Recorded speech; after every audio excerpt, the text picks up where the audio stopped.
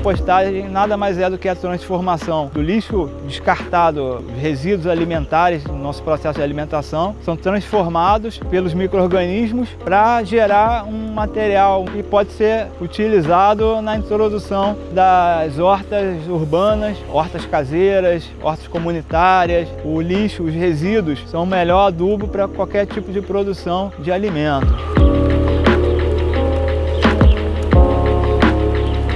Não só interessante como uma necessidade, tanto individual quanto coletiva. Vai possibilitar gerar não só uma resposta, uma solução para demandas de descarte de lixo, como também possibilitar a agricultura urbana dentro daquele mesmo perímetro, espaço de trabalho onde tá, vai estar tá fazendo a compostagem.